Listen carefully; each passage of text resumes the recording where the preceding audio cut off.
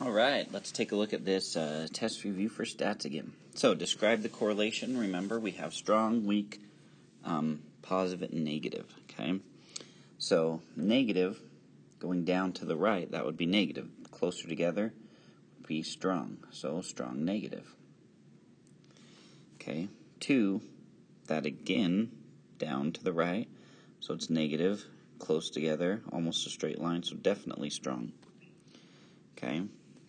Number three, um, it's positive up and to the right, close together, so strong, positive. Okay, five again, that's even stronger, but still a strong positive. Whereas number six, positive, but see how it's more spread out? So that would be weak positive. And four would be no correlation. Okay, so they're not close enough together. Now, for correlational coefficients of these graphs, Okay, the um, way it goes is for positive, it goes from zero to one. Okay, so these positive ones we have like 10 and 11. Okay, really close together, it's going to be close to one, so that's probably like 0.95. Okay, um, for 10, it's less, so maybe like 0.70 for number 10. Okay, if there's no correlation like number 9, it'd be close to zero. Or we could just write zero for it. Okay, now if it's negative, it goes from negative 1 to 0. Okay, 0 being no correlation, just like with positive. Closer to negative 1, the stronger it is. So looking at 7, 8, and 12, 12 looks to be the weakest, 8 stronger, 9 the strongest. So a strong one, that one looks pretty similar to 11, so it would be negative point, maybe 91.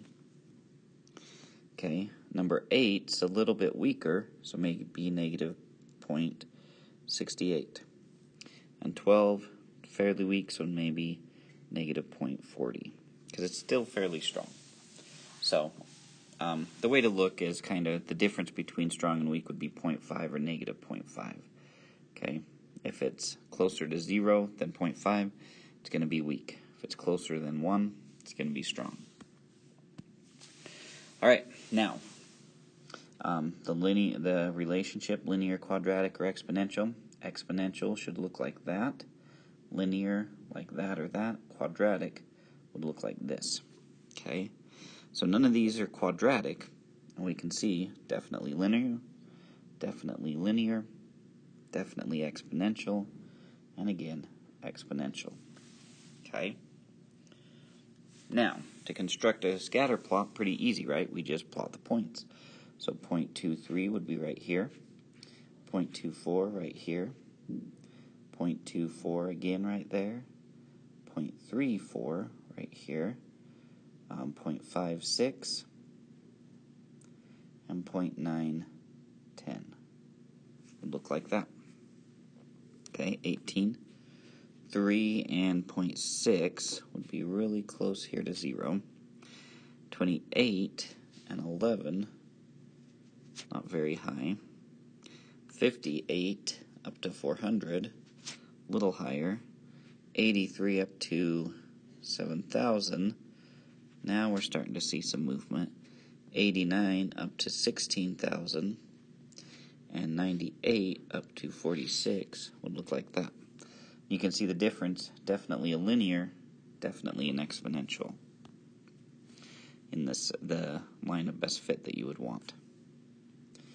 Okay, so number 9, we have 10 at 800,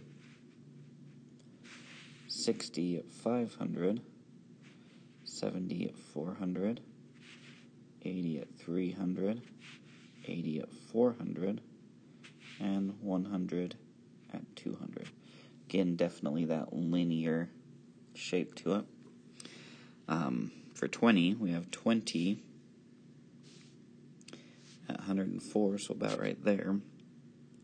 Then 190 at 11, so a little above.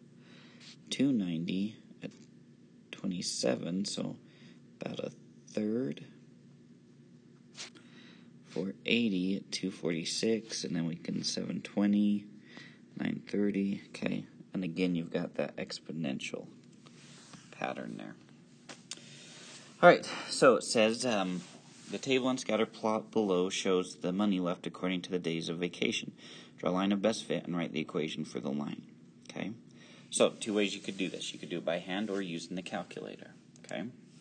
So, if we did the calculator, you would need to open a list and spreadsheet, enter that in, um, see the plot, then use the menu, and I'll show you some screenshots of what that would look like. Then you use the menu to create that line of best fit.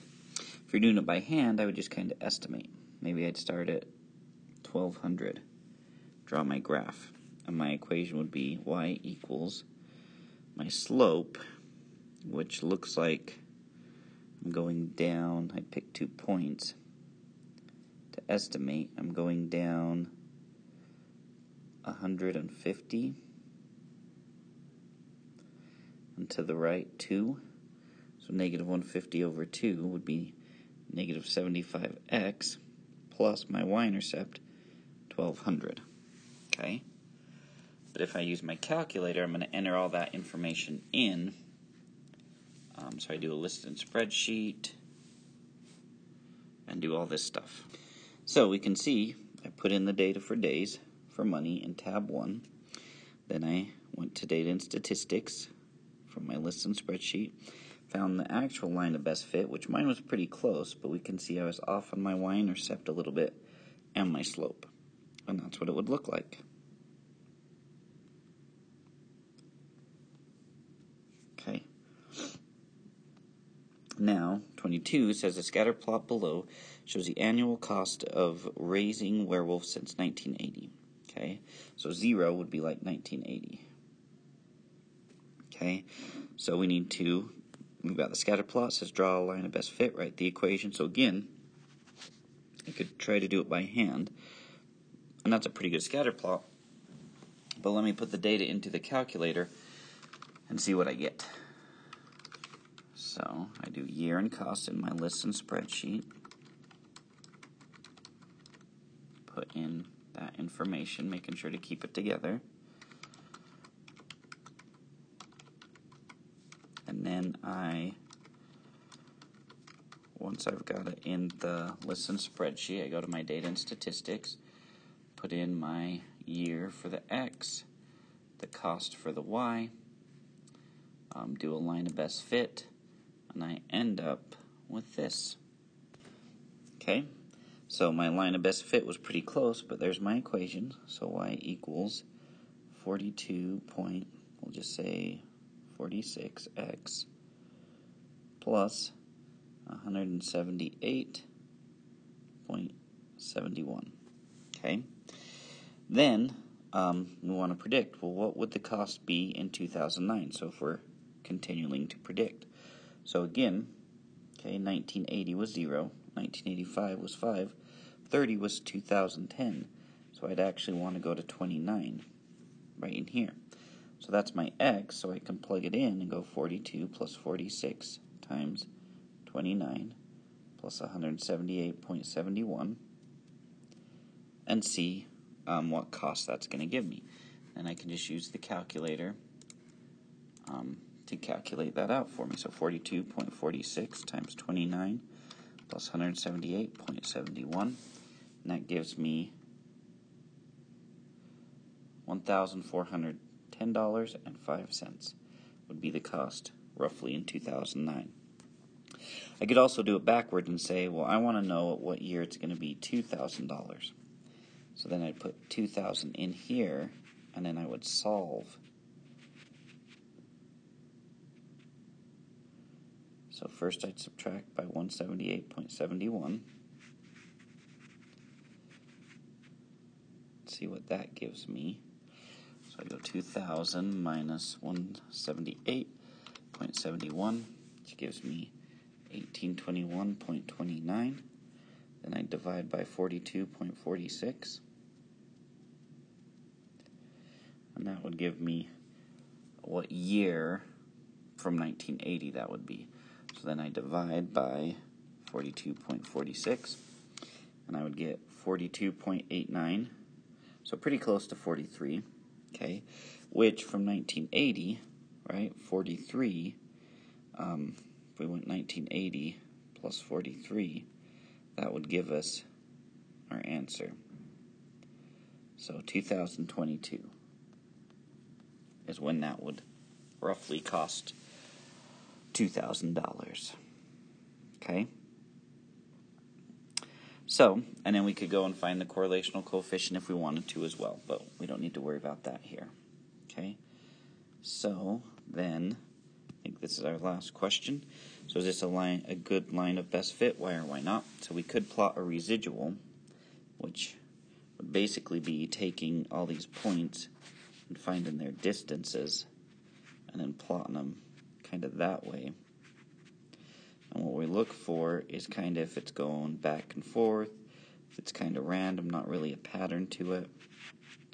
Which if I'm looking at this, it looks like it cuts it in its space pretty good. So I would say yes, it's a line of good line of best fit because we've got that random pattern kind of on both sides the whole time. Um, and so there we go, guys. We are done.